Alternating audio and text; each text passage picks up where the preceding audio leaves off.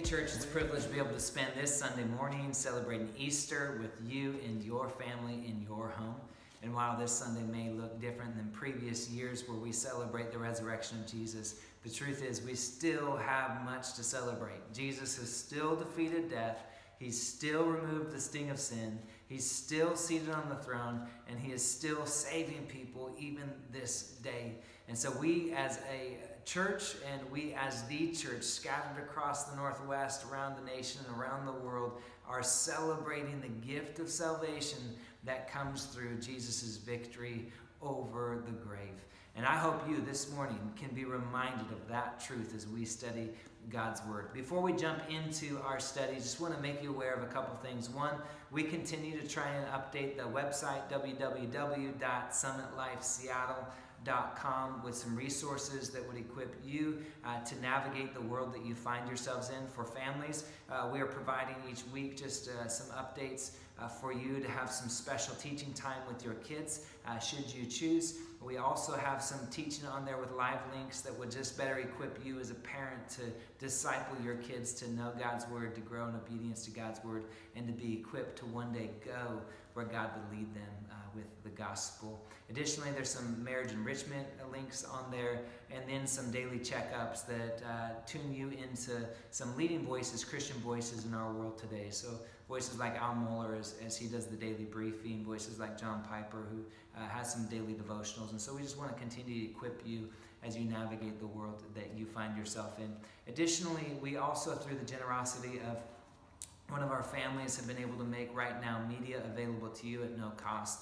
Uh, it's an incredible resource. It's an incredible platform with all kinds of teaching and content that you can explore for not only days, not only weeks, but you really could explore for months, teaching on on parenting, teaching on marriage, teaching on discipleship, teaching on theology. And for you parents who are trying to figure out what to do with your kids, uh, there's even kids' videos, kids' content on there that they can explore that would be edifying to their soul. And so we're incredibly thankful uh, for this gift and excited to be able to make this available to each of you. Many of you have already uh, subscribed, logged in, and, and are already uh, working through the material. I've gotten texts and emails from a number of you just saying how encouraged you are by this stuff. Uh, please know the email that you got from me for Right Now Media is not spam, it's not trash. I'll resend it this week, and as you get it again fresh in your inbox, I'd encourage you to take time uh, to set that up so that you can be enriched by this resource. And then finally, I, as your pastor, am praying for wisdom. I'm asking others to pray on my behalf uh, so that I might have wisdom wisdom on how to love you well. Uh, we care about you, our church, and we love you, our church, and we want to continue to love you well uh, during this time.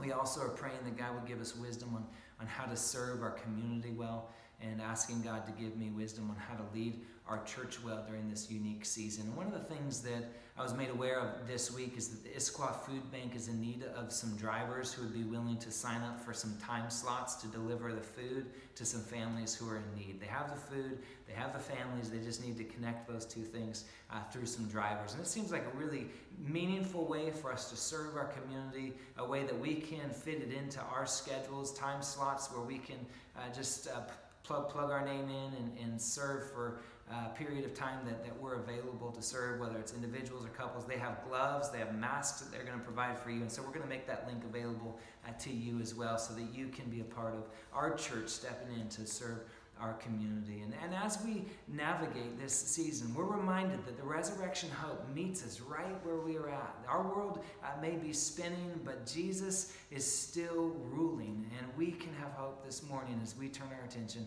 to God's Word. And so please join me as I pray for our study uh, as we prepare to step into Luke chapter 24. Let's pray together.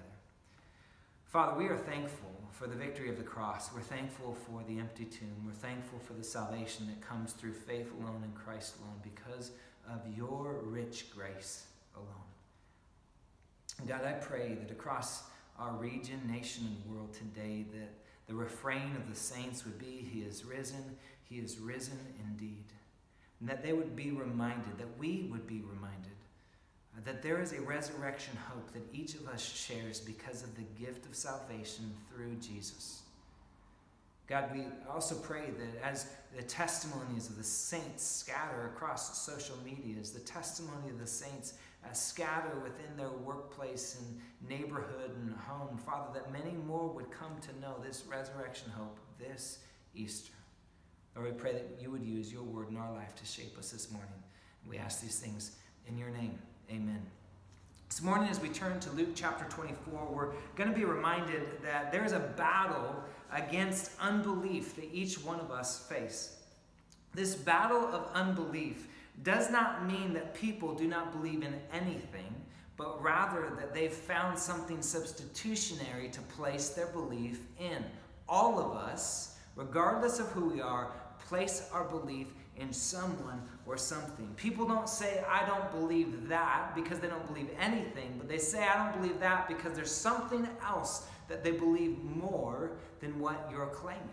And as we come to the resurrection narrative, as we look at Luke chapter 24, looking at verses 1 through 35, we're going to see that there are all kinds of responses to Jesus. In fact, there are four responses in the text that we're going to see this morning responses to Jesus. We're going to see the response of confusion. We're going to see the response of skepticism or disbelief. We're going to see the response of dis- indifference. And we're going to see each of these responses, whether it's confusion or skepticism or indifference, confronted with the resurrection Savior and each person or people group coming to faith in Jesus. You see, at the crux of this passage, at the crux of Scripture, at the crux of the gospel and the resurrection narrative is, is this question what do you believe?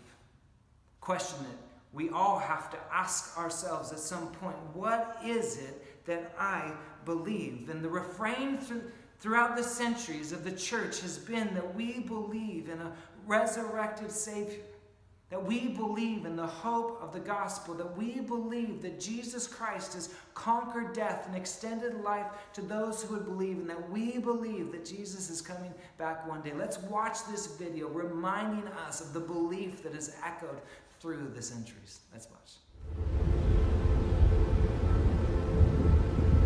We believe in one God, the Father, the Almighty maker of heaven and earth, of all that is seen and unseen. We believe in one Lord, Jesus Christ, the only Son of God, eternally begotten of the Father, God from God, light from light, true God from true God, begotten, not made, of one being with the Father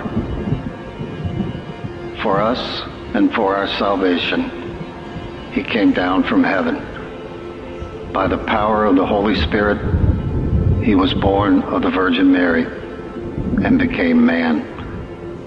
For our sake, he was crucified under Pontius Pilate. He suffered, died, and was buried.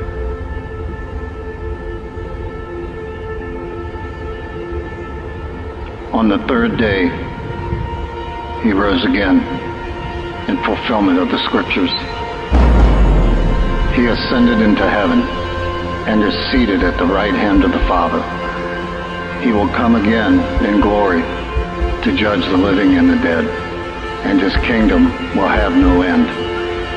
We believe in the Holy Spirit, the Lord, the giver of life, who proceeds from the Father and the Son who with the Father and the Son is worshipped and glorified, who has spoken through the prophets. We believe in one holy Christian and apostolic church. We acknowledge one baptism for the forgiveness of sins. And we look for the resurrection of the dead and the life of the world to come. Amen.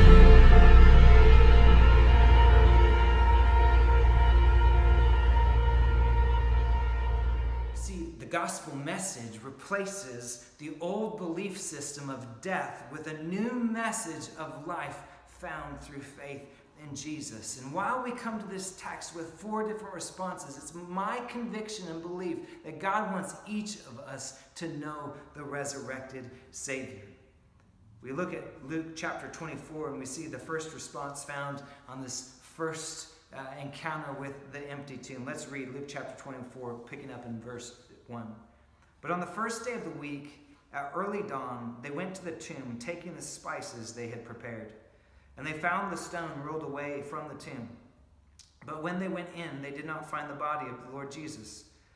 While they were perplexed about this, behold, two men stood by them in dazzling apparel. And as they were frightened and bowed their faces and to the ground, the men said to them, Why do you seek the living among the dead? He is not here, but he has risen. Remember how he told you while he was still in Galilee that the Son of Man must be delivered into the hand of sinful men and be crucified, and on the third day he would rise again. And they remembered his words, and returning from the tomb, they told all these things to the eleven and to all the rest. The first encounter with the empty tomb is, is those who would confront the resurrection story with, with a confusion. In fact, there are those who will be puzzled by the resurrection story. We come to this text and, and we see in verse 4 that these uh, disciples who were coming to the tomb to prepare the body of Jesus, the final preparations of, of burial, they, they come to Jesus and they're perplexed or puzzled.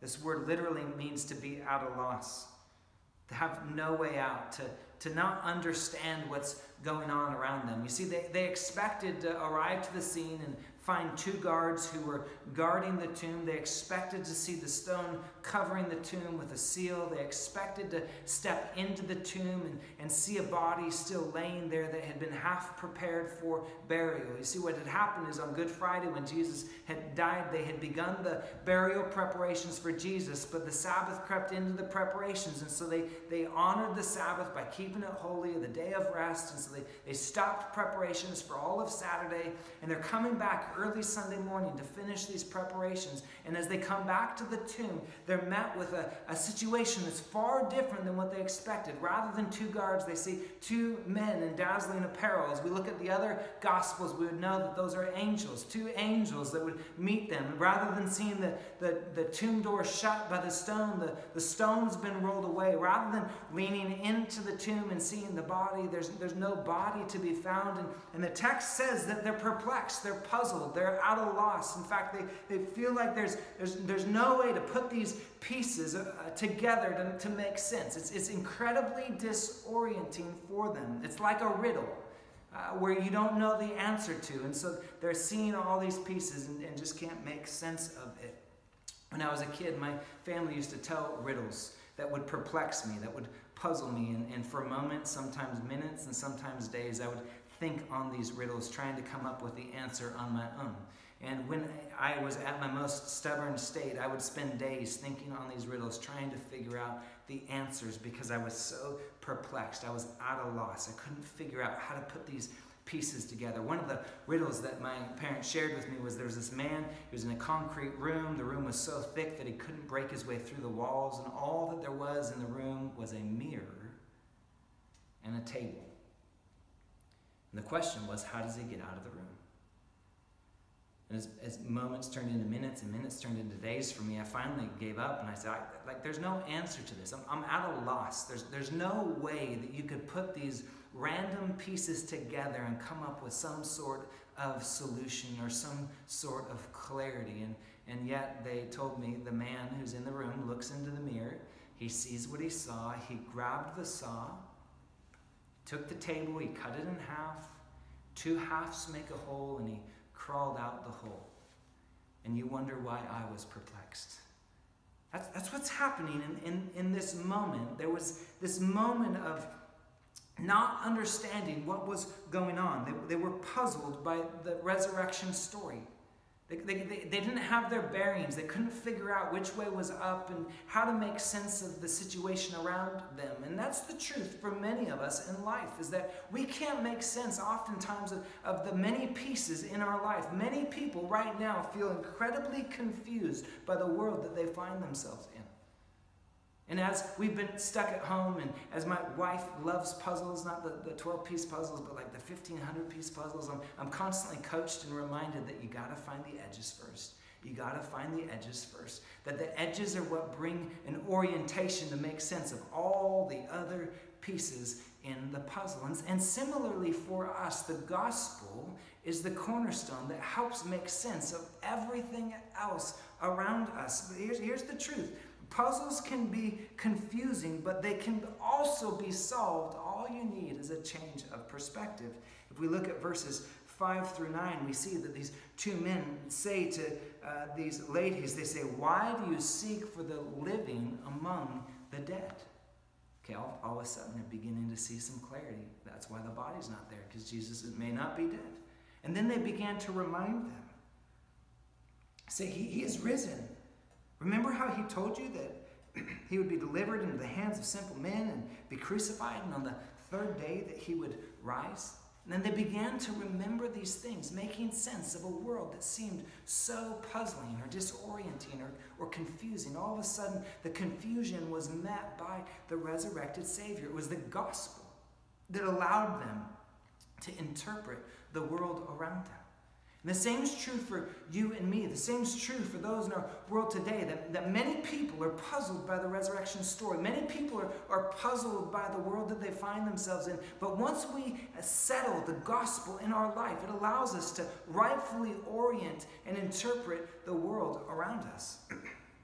you say, what is, what is the gospel? What is this cornerstone that allows me to interpret this confusing world around me? We, we in our church oftentimes talk of three circles. The first circle being God's design. When we think through the gospel, we think through the fact that God has a design for our lives.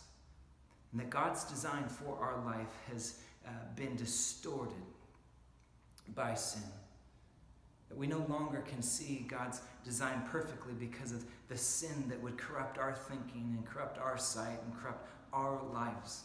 Sin, sins that we would commit and sins that, of just things that we don't do because we don't know what to do. O- omission, sins of commission, sins of omission. And sin would, would move us from this, this one circle of God's design to this other circle of, of living in a state of brokenness. And, and we don't have to look far to, to see the brokenness around us. Oftentimes people ask me, why, why is it that there are natural disasters? And, and not, not to, to, to be patronizing, but, but because of sin. Galatians, Genesis chapter 3, we see that God not only uh, was there a curse among man, but there was a curse on creation, that God cursed the ground beneath them. And, and that creation, as scripture would say in Romans, is, is groaning and longing and waiting for the day of redemption. So, why are there earthquakes? Why are there tornadoes? Why are there tsunamis? Because all of creation is groaning and waiting for that day of redemption. The, the God's design's been distorted by sin. Why do we hurt people uh, through intention or, or unintentionally?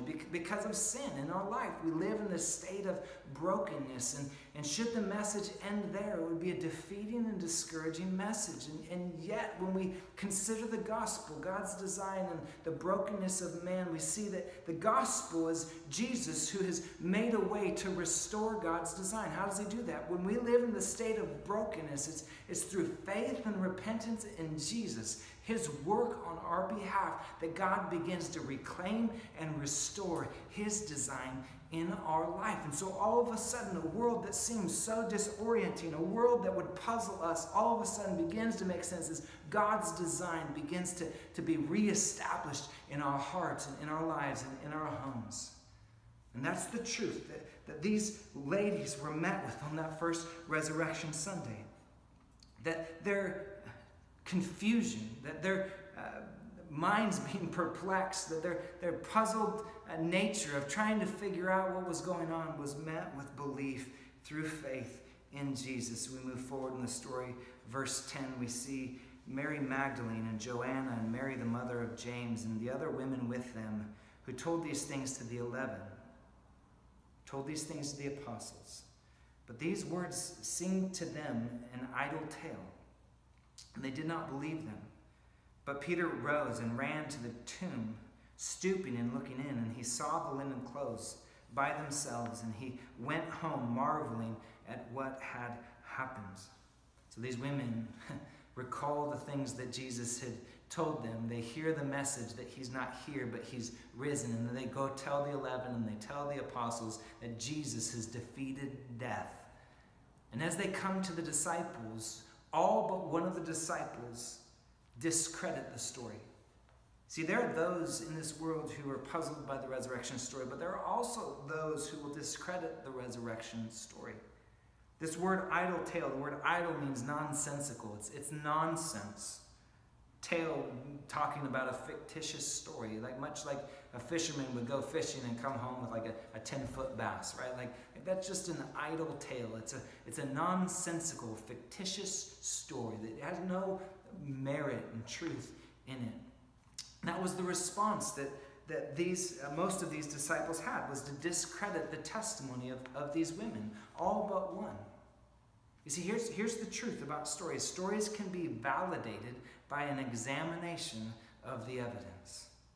Stories can be validated by an examination of the evidence. All but one discredited, but one stood up, ran to the tomb, and began to examine the evidence. In fact, the text would say that he stooped and looked in. So he looked in, and then he saw.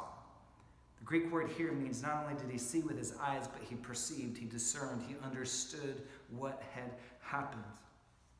Looking around him, he began to understand that Jesus was no longer dead, but he had defeated death. And when he went home, he marveled at what had happened. Stories can be validated through an examination of the evidence. Dr. Gary Habermas has spent his life examining the evidence around the resurrection, and there are all kinds of historical evidences that would surround the resurrection. But he, in his book, A Case for the Resurrection, talks about a minimal facts approach, four plus one, uh, speaking of the, the facts that surround the resurrection of Jesus, that we should just uh, be confident in the hist- historicity of, of these things, the historical fact of these things. Four plus one, the, the minimal facts approach. Here, here are the four plus one facts. First one is this that there was a death by crucifixion, that Jesus really died by crucifixion. This isn't only recorded in Scripture, but it's recorded by Josephus. It's recorded by Tacitus. It's recorded by Lucian. It's, it's recorded in the Talmud. That biblical, extra biblical texts would all speak of a crucifixion that Jesus experienced. Why is this important? Because Romans were experts at killing people. The, the cross was an instrument of execution and death. And as we look at the historicity of Jesus dying on the cross, we can walk away with uh, all but certainty that Jesus really died on the cross. There are all kinds of, of theories that would try to, to undermine this testimony, and yet history would speak loud and clear that Jesus really died on the cross. That's the first fact. The second fact is this that the disciples really believed in the resurrection the disciples of Jesus really believed in the resurrection. They claimed it. They, in fact, not only claimed it, but they, they put everything on, on that truth. In fact, Paul would be so adamant about the resurrection that he said, he said if, if there is no resurrection, then we should be pitied among all other people. The message of Christianity is not moralism, it is a testimony of Jesus defeating death, living the perfect life that you and I could not live, so that through faith in Him we might be called sons and daughters of the Most High God. And for these disciples, they claimed the resurrection of Jesus. And not only did they claim it, they believed the resurrection of Jesus. Seven ancient sources attest to the disciples' willingness to suffer and die for this claim. And you say there are a lot of people around the world who are willing to die for things that aren't true. Here's, here's I'd like to argue there's a, there's a difference. First difference is this these are not people who are naturally courageous. Like if you look at the story of the disciples, they're just not naturally courageous people. You see them on the boat and a storm comes in, they're panicked. They got to wake up Jesus. Come to the, the crucifixion of Jesus, John speaks of it. After the crucifixion of Jesus, what do they do? They, they run and they lock the doors for fear of what others might do to them.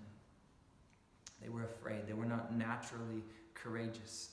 And yet something changed that prompted a courage that was unwavering, even to the point of suffering and death. The second is this that, that their testimony of the resurrection, their faith in Jesus, who had conquered death, had, had assured them of their salvation. And so by their death, there was nothing uh, more that they could attain because the, the achievement had already been accomplished by Jesus.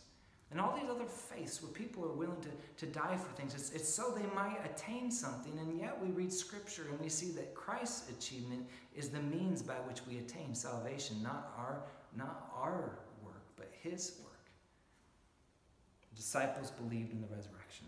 Third, the conversion of Paul, the persecutor of the church.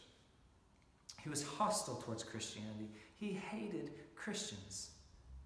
Paul did not like anything about the resurrection or the testimony of the resurrection until he claimed he met the resurrected Savior. He was hostile towards Christianity, and then he became willing to suffer and die for the Christian testimony. This is well recorded in the New Testament. It's recorded by Luke. It's recorded by Paul. It's, it's recorded outside of Scripture. Clement of Rome, Polycarp, Tertullian, all would speak of, of Paul's willingness to suffer and die for the Christian faith. Uh, fourth, so four plus one, fourth uh, fact is a conversion of Jesus' half brother, James, who was a skeptic. So we see the cowards uh, come to faith in Jesus. We see the hostile Paul come to faith in Jesus. Now we see the skeptic, James, the half brother of Jesus, come to faith in Jesus. As he examines the evidence of the resurrection and comes to know that his half brother Jesus had defeated death, he becomes a leader in the early church. He would eventually die a martyr's death, and it would be recorded by Josephus and Clement of Alexandria. We see death by crucifixion, disciples' belief in the resurrection, conversion of Paul, and the conversion of the skeptic James. And then the fifth one, the four plus one, the fifth one is the tomb's empty. Tomb's empty. There were all kinds of people who would oppose the testimony of the resurrection of Jesus. Those in, in authority in Rome had every reason to just go to the tomb, present the body, and say, He's still dead. It would, have, it would have stopped everything right there because the testimony of Jesus' resurrection didn't begin in surrounding regions, regions, but it began in Jerusalem. And as it began in Jerusalem, the Roman authorities had every opportunity to go present the body of Jesus to just stop this testimony. The religious leaders had every opportunity to bring the following to the tomb and say, See, the stone's still sealed. It's still there. Jesus' body's still there. And yet no one could do such a thing because the body wasn't there. And so, for histories, all historians would claim that the tomb is empty and the Christian claim is that the tomb is empty because God, through his son Jesus, defeated death so that you and I might live. You see, there are those who would undermine and discredit the story, but stories can be validated through the examination of the evidence. The, the third response, and I'm not going to read this, this whole narrative to you, but the third response is there are those who are too busy for the resurrection story. Not only those who are puzzled by it, confused, not only those who would discredit it, but, but there are those who are just simply indifferent towards it. They're, they're too busy for it.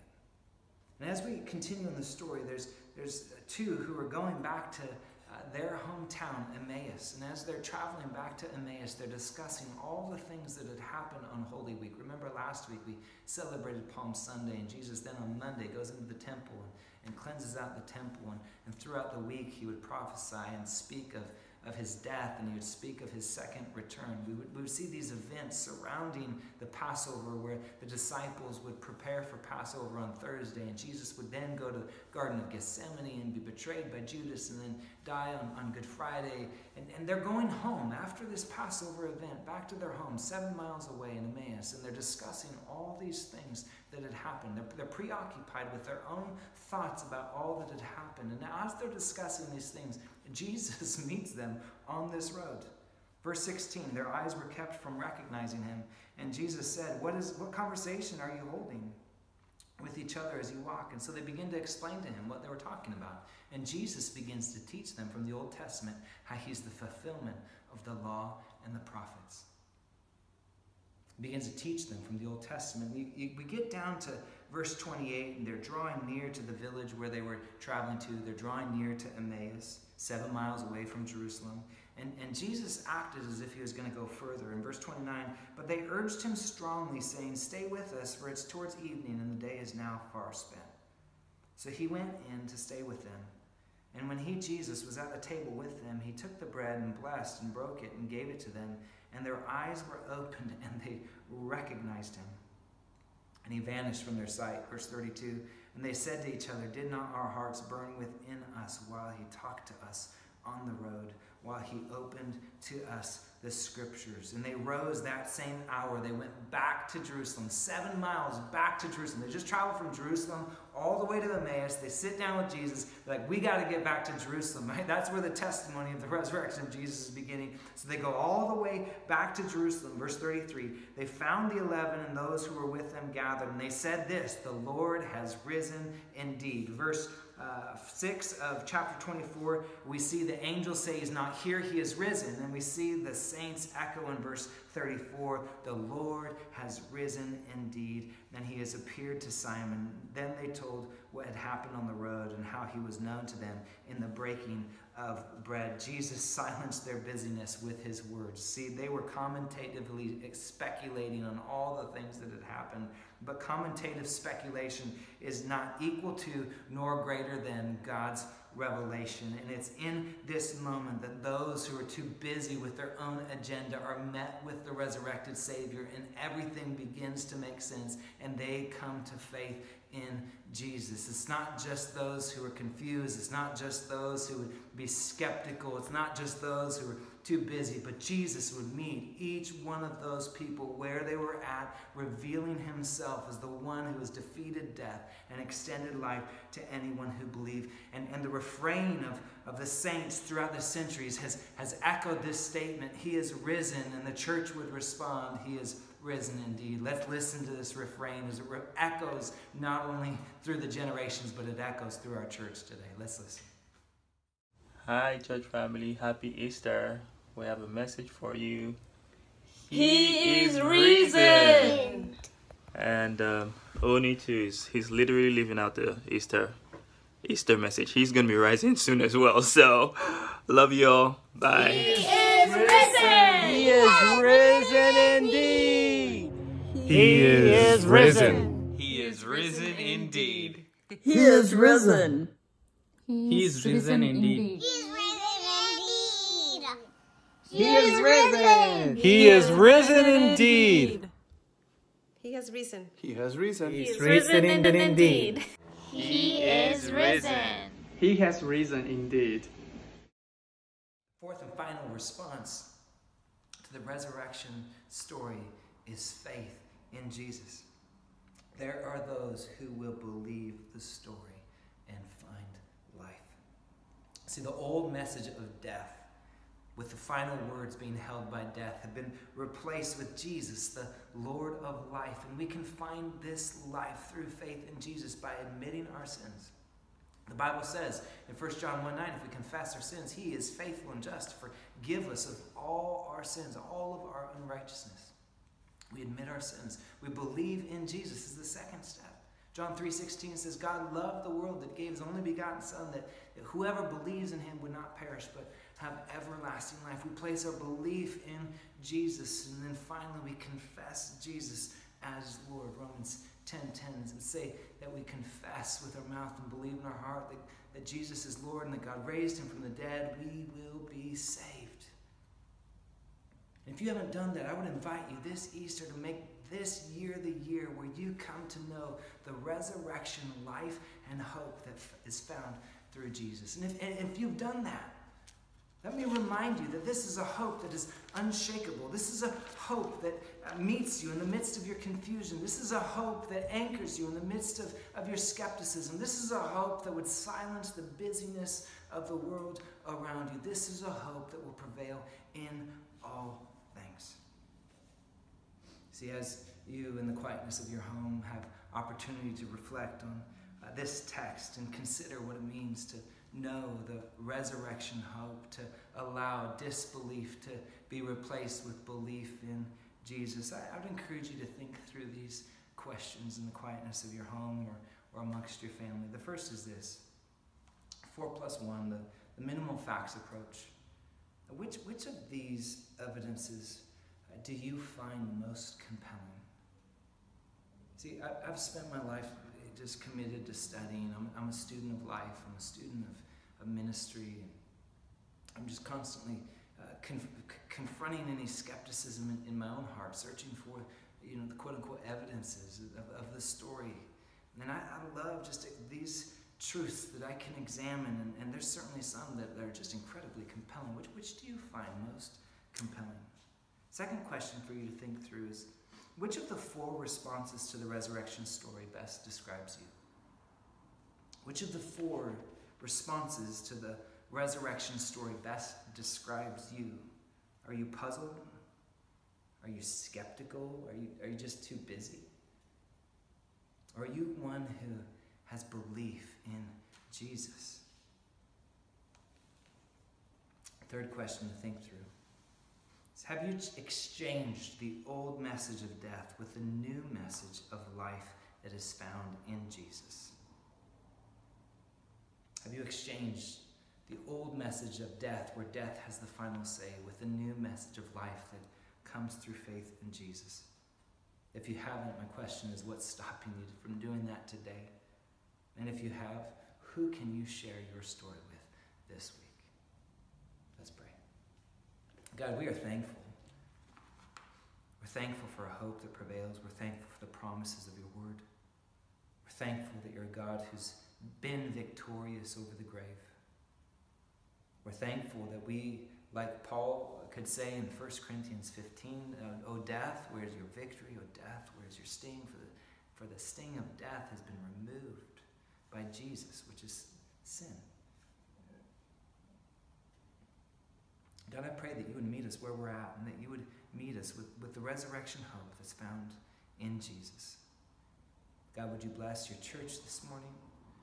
Would you draw more people into that number as they put their faith in you? We ask these things in your name. Amen. Please know that I'm praying for you and your family, uh, that I'm here for you. If there's anything you need, please don't hesitate to reach out. I've been giving you my cell phone number, uh, direct line to me. Uh, you can call me, text me anytime, area code 208 695 0260, uh, so that we can uh, share in, in, the burden of life that, that you may find yourself in. I count a privilege uh, serve as your pastor and looking forward to the day where we'll be able to gather and celebrate this truth in person again. God bless. There is power in the name of Jesus.